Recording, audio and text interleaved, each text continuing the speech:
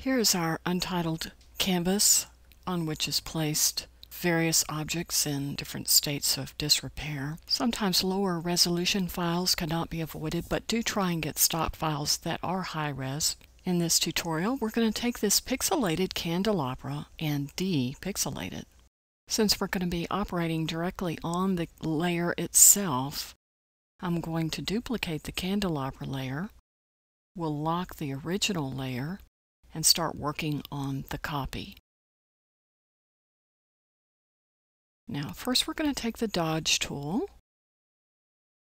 and lighten up these middle tones. So I take a 29 size brush, use the midtones, and put the exposure at about 26%.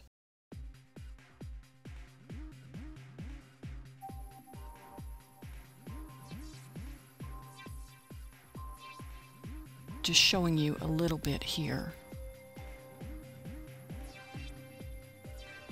and this is with the Dodge tool.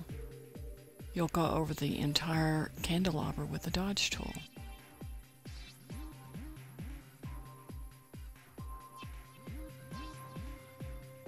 Next, I use the blur tool. And you can set this at whatever you're comfortable with. Here I've got it at 35 pixels moving that down now to 12 and about a 59% strength.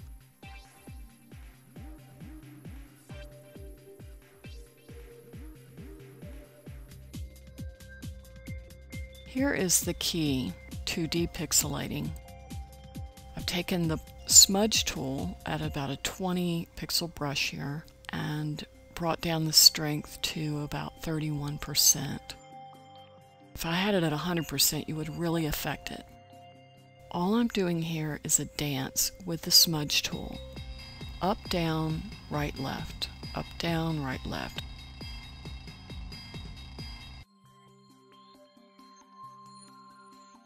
I just do the same thing over on each one. As you can see, probably, hopefully, it is blurring the pixelation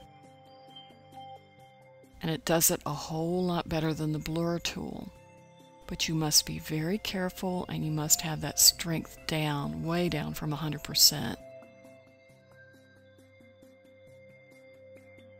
Up, down, right, left, up, down, right, left. The way you use a smudge tool here is that you click and hold onto a spot and move that one spot up and down, left and right.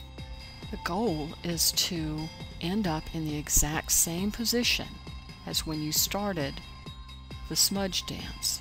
However, because you won't end up in the same position, you get a slight blur.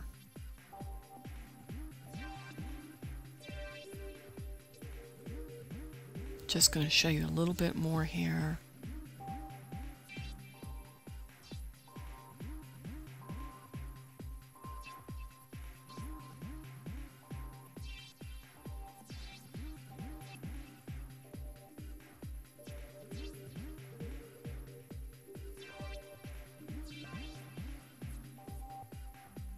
There it is before.